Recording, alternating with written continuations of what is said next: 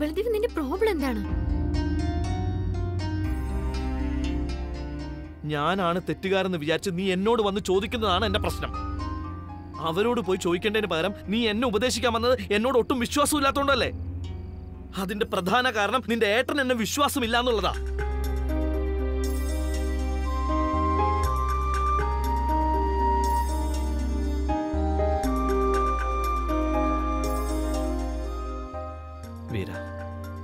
ഇനി നീ എന്റെ കണ്ണുകളിലേക്ക് നോക്കി പറ. ഞാൻ പറയുന്നതൊക്കെ സത്യമല്ലാന്ന് നിനക്ക് തോന്നണ്ടോ? നിനക്ക് ഞാൻ തെളിവുകൾ തരേണ്ട ആവശ്യമുണ്ടോ വീര?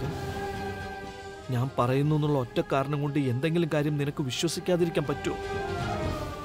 ഞാൻ കള്ളനാണെന്ന് ഈ ലോകം മുഴുവൻ പറഞ്ഞാൽ എനിക്കൊരു ചുക്കും വരാനില്ല. നീ എന്നെ എങ്ങനെ കാണുന്നു എന്നുള്ളത് മാത്രമേ ഞാനിപ്പോ ചിന്തിക്കുന്നുള്ളൂ വീര. പറയേ. സത്യമാണോ? അതോ കള്ളാണോ ഞാൻ പറയുന്നത്?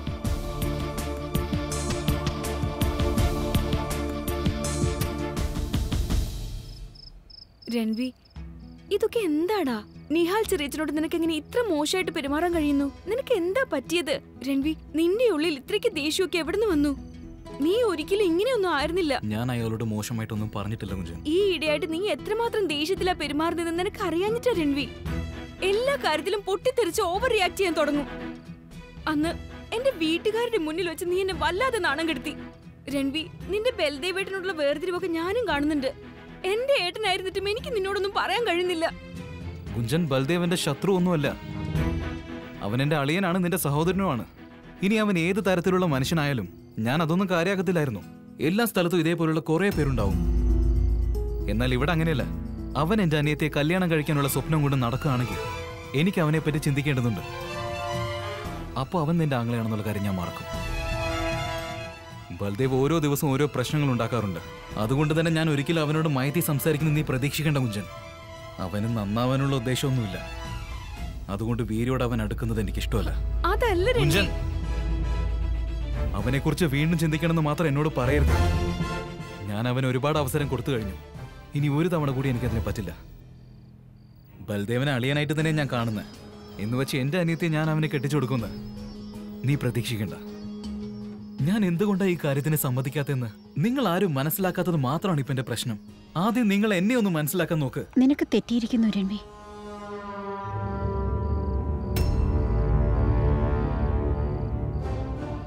മോനെ ഞങ്ങൾ എല്ലാവരും നിന്നെ മനസ്സിലാക്കുന്നുണ്ട്. ഞങ്ങളിൽ ആരും നിന്നെ ഒരു കാര്യത്തിനും നിർബന്ധിച്ചിട്ടില്ലല്ലോ. പെട്ടെന്ന് തീരുമാനം എടുക്കണമെന്നും പറഞ്ഞിട്ടില്ല. ഇത് നിന്റെ അനിയത്തി വീരയുടെ കാര്യമാണ്. അക്കാര്യത്തിൽ തീരുമാനമെടുക്കാനുള്ള എല്ലാ അവകാശവും നിനക്ക് മാത്രമാണുള്ളത്. നിന്നെ ഞാനാണ് വളർത്തിയത്. ഒരിക്കലും ഒരു തെറ്റായ തീരുമാനം എടുക്കാൻ എന്റെ മകന് കഴിയില്ല എന്ന് എനിക്കറിയാം. പക്ഷെ രൺവി ഇന്ന് നീ ചെയ്ത കാര്യം അത് വലിയൊരു തെറ്റ് തന്നെയാണ് നിഹാൽ ചെറിയച്ചനോട് ആ രീതിയിൽ സംസാരിക്കാൻ നിനക്കൊരവകാശവും ഇല്ല ഇങ്ങനെയൊന്നും മോനെ പഠിപ്പിച്ച് വളർത്തിയത്. എന്നിട്ട് നീ എന്താ ഇങ്ങനെയൊക്കെ പെരുമാറുന്നത്? ഇതെന്റെ വളർത്തുദോഷമാണോ എന്ന് പോലും എനിക്ക് തോന്നിപ്പോവാം. പ്രായം കൊണ്ട് നിന്നേക്കാൾ ഒത്തിരി മുതിർന്ന വ്യക്തിയല്ലേ നിഹാൽ ചെറിയച്ചൻ ഇക്കാലം അത്രയും നമ്മുടെ വീടിന്റെ നന്മ മാത്രമേ ആഗ്രഹിച്ചിട്ടുള്ളൂ. എന്നിട്ട് നിനക്ക് എങ്ങനെ ഇങ്ങനെയൊക്കെ പറയാൻ തോന്നി?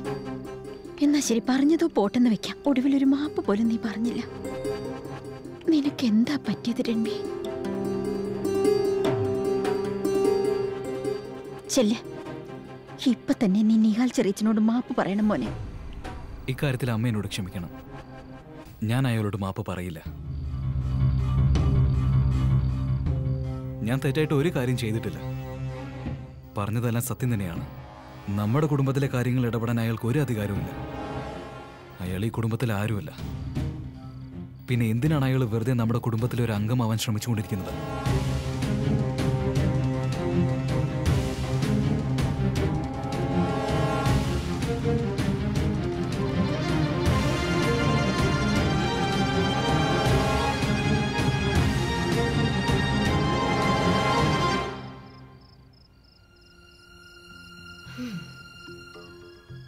നിന്നോട് ഞാൻ വീട്ടിൽ പോവാനല്ലേ പറഞ്ഞു ഇനി നീ ഇവിടെ എന്തെടുക്കുക?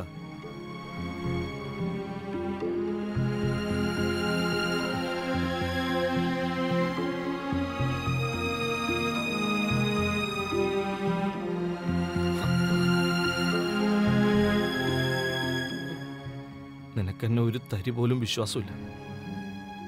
പിന്നെ ഈ സ്നേഹം കാണിച്ചിട്ടൊക്കെ എന്താ കാര്യം? അടുത്ത തവണ നിനക്ക് ദേഷ്യം വരുമ്പോൾ ഒന്നു മുതൽ അഞ്ചു വരെ എണ്ണണം. മനസ്സിൽ. വന്ന ദേഷ്യം അതുപോലെ പമ്പ കടക്കും. നീ ഇതുവരെ എന്റെ ചോദ്യത്തിന് ഉത്തരം തന്നില്ല വീര.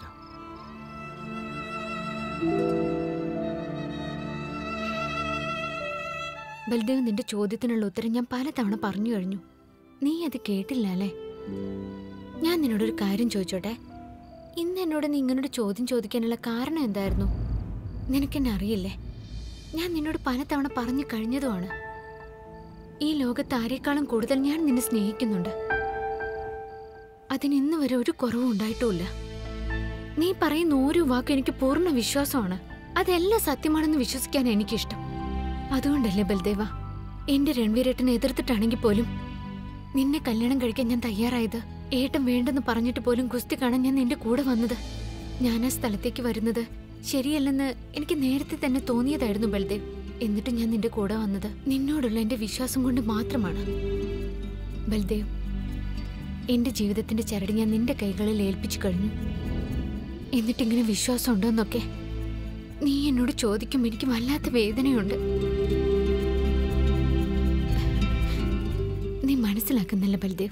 സത്യത്തിൽ നിനക്ക് എന്നെയാണ് വിശ്വാസമില്ലാത്തത്. അത് പലപ്പോഴും നിന്റെ പ്രവൃത്തികളിൽ തെളിഞ്ഞു കാണുന്നുണ്ട്. ബൽദേവ് ആ മാച്ച് തുടങ്ങുന്നതിന് മുമ്പ് ഞാൻ നിന്നോട് എന്താ പറഞ്ഞിരുന്നത്? ഞാൻ നിന്റേത് മാത്രമാണെന്നല്ലേ? ആ പറഞ്ഞത് സത്യമാണ്.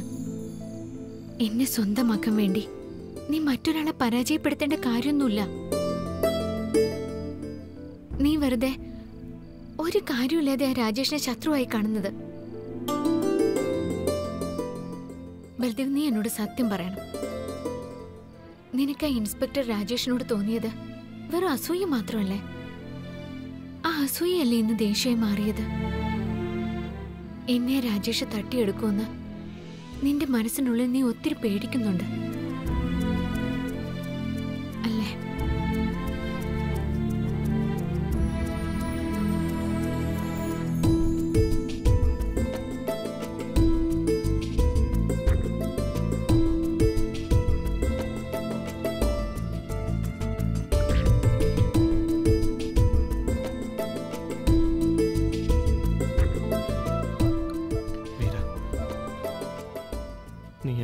ക്ഷമിക്കുമെന്നെ ഞാൻ ഇനി ഒരിക്കലും ഇങ്ങനൊന്നും ചെയ്യില്ല.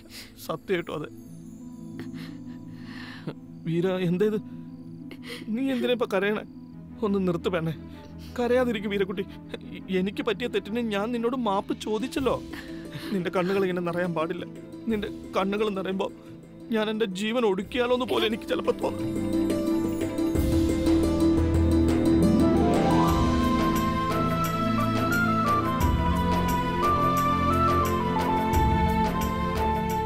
എന്നെ പോലൊരു മണ്ടനെയാണല്ലോ വീര നീ സ്നേഹിച്ചു പോയത്. ഹൃദയം ഹൃദയത്തോടാണ് ചേരാറ്. അവിടെ ബുദ്ധിക്ക് പ്രാധാന്യമില്ല. നീ മനസ്സിൽ ഒത്തിരി നന്മയുള്ളവനാണെന്ന് ഞാൻ എന്നേ മനസ്സിലാക്കിയതാ ബൽദേവ്.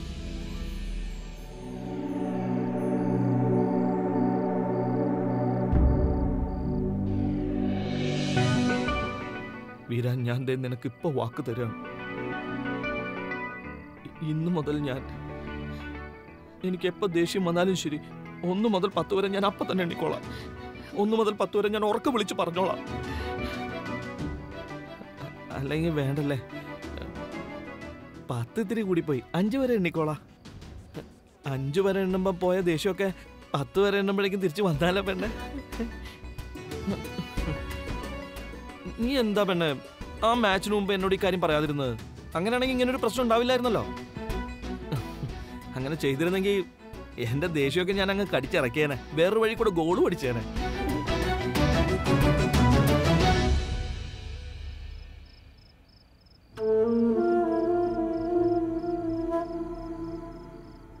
ഇതൊക്കെ ഒരു ചെറിയ മുറിവല്ലേ വീര? നിനക്ക് വേണ്ടി ഇതുപോലെ ഒരു ആയിരം മുറിവുകൾ സഹിക്കാൻ എനിക്ക് കഴിയും. സാറേ വന്നാട്ടെ. വന്ന ആഹാരം കഴിക്കും. ഞാൻ കഴിച്ചോളാം മാവാ അവിടെ വെച്ചേക്ക്. നിങ്ങൾ പോയിക്കോ. എന്താ വേണ്ടേ? സാറിനോട് എനിക്കൊരു കാര്യം പറയാനുണ്ടായിരുന്നു. നിങ്ങൾ പറയാൻ വരുന്നത് എന്താണെന്ന് എനിക്കറിയാം. പക്ഷെ നിങ്ങൾ പേടിക്കണ്ട മാവ ഇതിനു മുമ്പ് ഞാനിരുന്ന സ്ഥലത്തുണ്ടായതുപോലൊന്നും ഇവിടെ സംഭവിക്കാൻ പോകുന്നില്ല. ഇത്തവണ കാര്യങ്ങളൊക്കെ കുറച്ചുകൂടെ സ്മൂത്താണ് എല്ലാം ഞാൻ ഉദ്ദേശിച്ച പോലെ നടക്കുന്നുണ്ട്.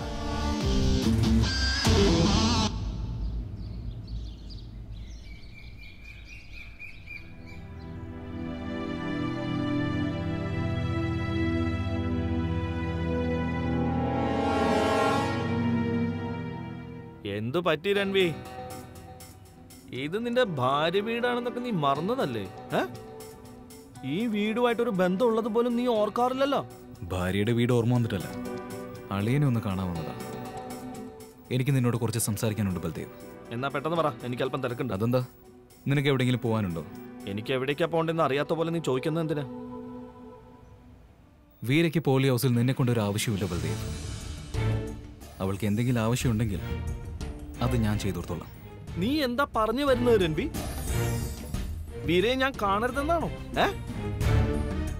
കുറെ പ്രാവശ്യം ഒരേ കാര്യം പറയുമ്പോ നിനക്ക് ക്ഷീണം തോന്നില്ല അന്ന് പറഞ്ഞത് ദേഷ്യത്തിലായിരുന്നു. ഇന്ന് ഞാൻ പറയുന്നത് വളരെ മര്യാദയ്ക്കാണെന്നുള്ളത് നീ മനസ്സിലാക്കണം. നീ വീരെ ഒരുപാട് സ്നേഹിക്കുന്നുണ്ടല്ലോ. ആയിക്കോ? പക്ഷെ ഇനി നീ അവളോട് അടുക്കാൻ ശ്രമിക്കരുത്. ഞാൻ നിനക്ക് ഒരുപാട് അവസരങ്ങൾ തന്നു കഴിഞ്ഞു ബൽദേവ്. ഇനി എന്നിൽ നിന്ന് നീ അത് പ്രതീക്ഷിക്കരുത്. കാരണം ഇത് എന്റെ അനിയത്തിയുടെ ജീവിത പ്രശ്നമാണ്. അവളെ ഒരു ആപത്തിലേക്ക് തള്ളിവിടാൻ എനിക്ക് പറ്റില്ല. എല്ലാം ഇവിടെ കൊണ്ട് നിർത്തിക്കോ. ഇനി നീ അവളെ കാണാൻ ശ്രമിച്ചു എന്ന് ഞാൻ അറിഞ്ഞ എന്റെ അള്ളിയനാണെന്നുള്ളത് പോലും ഞാനങ്ങ് മറക്കും.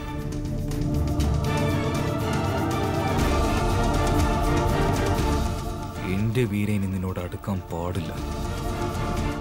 അതിനുവേണ്ടി ഏതറ്റം വരെ പോകാനും ഞാൻ മടുക്കില്ല.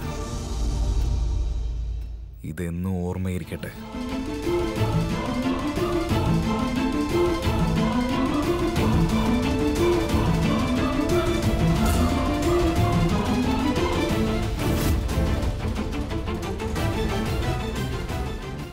എന്താ എന്നെ ഭീഷണിപ്പെടുത്താണ് ഭീഷണിയെന്നോ ഉപദേശമെന്നോ വാണിംഗ് എന്നോ നിനക്ക് എന്ത് പേരിട്ട് വേണമെങ്കിലും വിളിക്കാം. പക്ഷേ ഞാൻ പറഞ്ഞ കാര്യം നീ മറക്കണ്ട. വീരയുടെ പരിസരത്ത് പോലും നിന്നെ കണ്ടുപോലും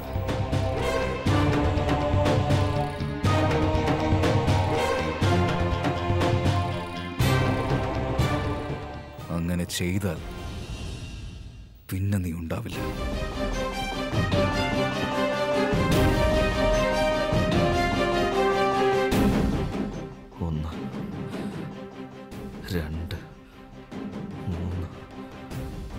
നാല് അഞ്ച്. ഒന്ന് നിന്നേ രൺവി.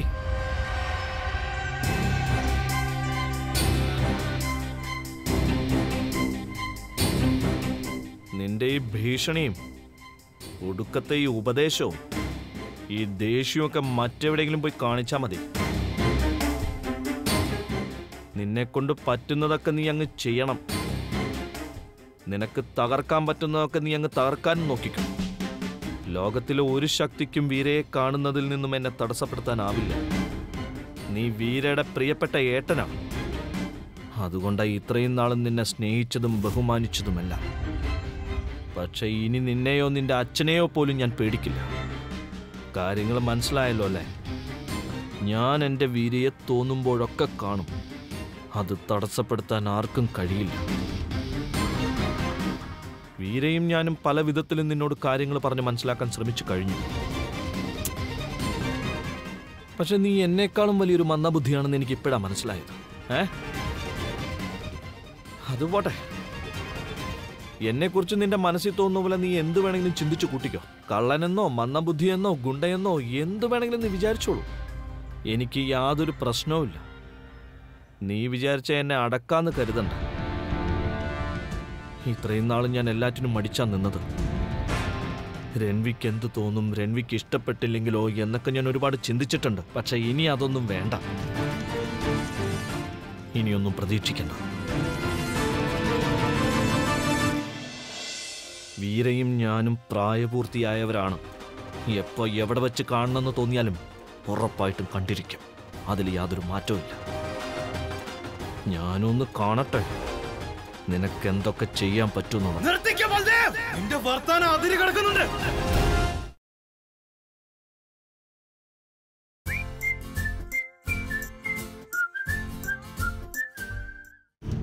ഞാൻ എന്തെങ്കിലും ചെയ്തിട്ടുണ്ടെങ്കിൽ നിനക്കത് മനസ്സിലാക്കാനായിട്ട് കഴിഞ്ഞിരുന്നെങ്കിൽ എല്ലാം നന്നായി പോയനെ. മനസ്സിലാവുന്നില്ലെങ്കിൽ പോട്ടെ. അതൊരു പ്രശ്നമല്ല.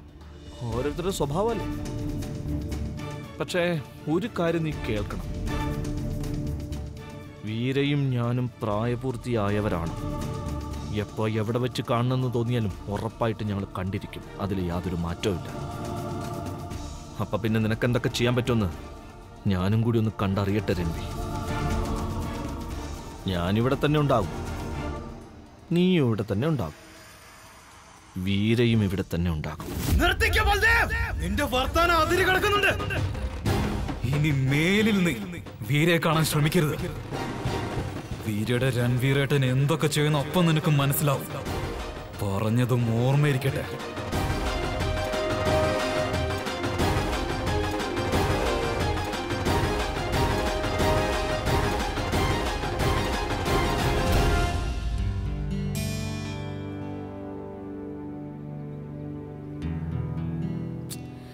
രൺവി എവിടെ പോയിന്ന് അറിയില്ലല്ലോ മാനേജർ വണ്ടിയും കൊണ്ട് ഇപ്പൊ ഇങ്ങെത്തും.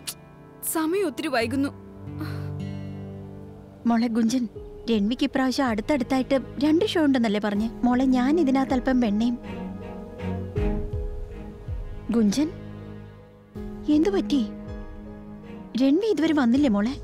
അമ്മ ഇത് കാണുന്നുണ്ടല്ലോ. മാനേജർ ഇപ്പൊ ഇങ്ങെത്തും. രൺവി എവിടാന്ന് അറിയില്ല എന്റെ റബ്ബേ. നീ ഒന്ന് വിളിച്ചു നോക്കിക്കേ. മിക്കവാറും അവൻ ഈ കാര്യം തന്നെ മറന്നിട്ടുണ്ടാവാനാ സാധ്യത. രൺവി? നീ എവിടെ പോയിരിക്കായിരുന്നു മോനെ? എനിക്ക് കുറച്ച് പണിയുണ്ടായിരുന്നു. ആ ശരി രൺവി സാരമില്ല. ഇനിയെല്ലാം പെട്ടെന്നാവട്ടെ. സാധനങ്ങളെല്ലാം ഉണ്ടോന്ന് നോക്കണേ. മാനേജർ ദേ ഇപ്പൊ ഇങ്ങെത്തും. ശരിയാ നോക്ക്.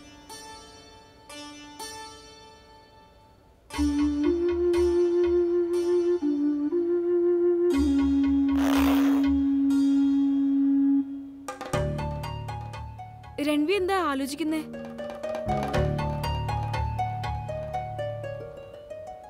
അതെന്താന്ന് ഞാൻ പറയാം കുഞ്ചൻ എനിക്ക് മാത്രമേ അതറിയൂ. ഞാൻ പറയട്ടെ എന്റെ മുഖം കാണാതെ ഏട്ടൻ ഇവിടുന്ന് ഒരു ജോലിക്ക് ഇറങ്ങില്ല എന്നറിയില്ലേ?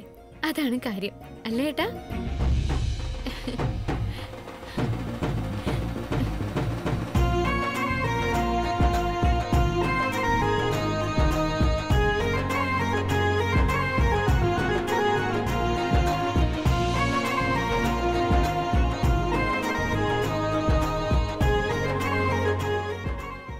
ദി ബെസ്റ്റ്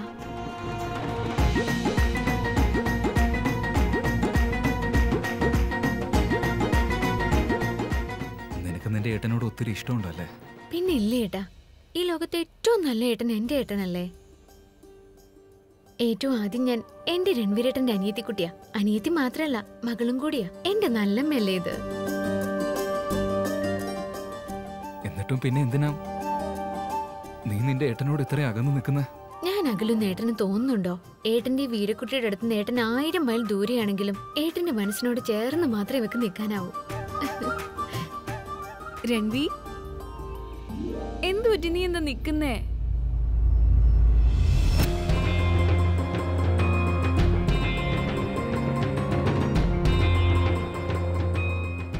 വീരയുടെ മുഖം കാണാതെ രൺവി വീട്ടിൽ നിന്ന് ഇറങ്ങില്ലല്ലോ. നീ നിൽക്ക് രൺവി ഞാൻ അവളെ വിളിച്ചോണ്ട് വരാം. വേണ്ട അമ്മ. അവളെ വിളിക്കണ്ട. അമ്മ എനിക്ക് വീരിയോടൊരു കാര്യം പറയാനുണ്ടായിരുന്നു. അത് അമ്മ എനിക്ക് വേണ്ടി അവളോടൊന്ന് പറയുമോ എന്താ മോനെ? ഇനി ഒരിക്കലും അവൾ ബൽദേവിനെ കാണാൻ പാടില്ലെന്ന് അമ്മ പറയണം.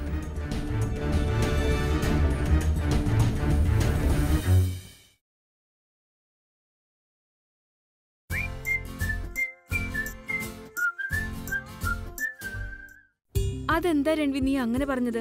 ബൽദേവ് വീട്ടിനും വീരയും തമ്മിലുള്ള ബന്ധം അവിടെ നിൽക്കട്ടെ നീയും വീരയും തമ്മിലുള്ള ബന്ധം നീ മറക്കരുത്.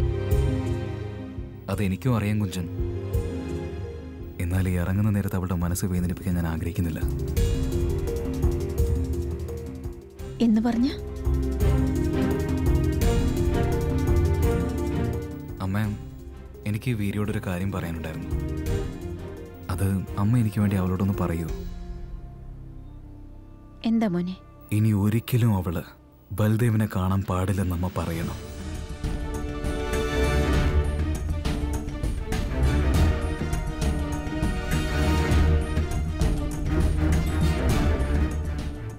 അമ്മേ അമ്മ ഇതുവരെ വീര ആവശ്യപ്പെട്ട എല്ലാ കാര്യങ്ങളും ഞാൻ അവൾക്ക് കൊടുത്തിട്ടുണ്ട്.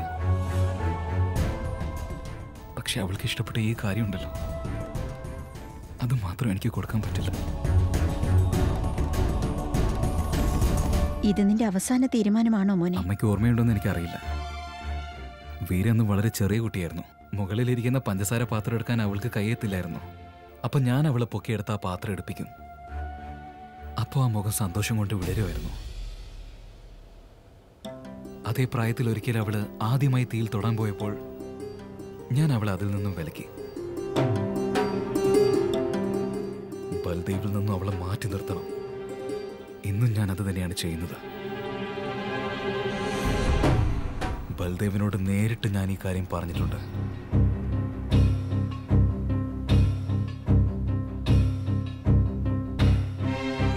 അമ്മ ഇത് അവളോട് പറയല്ലോ അല്ലേ?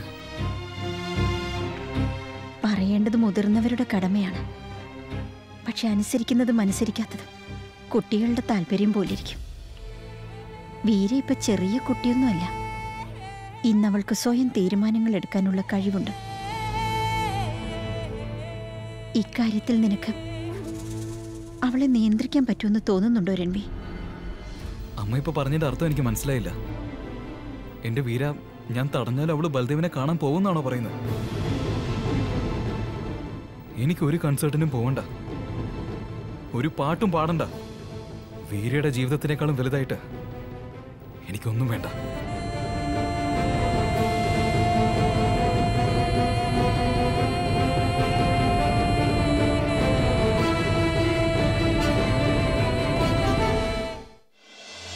നിനക്കെന്തോ ഒരു ഇരുപതിനായിരം രൂപയുടെ ആവശ്യമുണ്ടെന്ന് പറഞ്ഞു?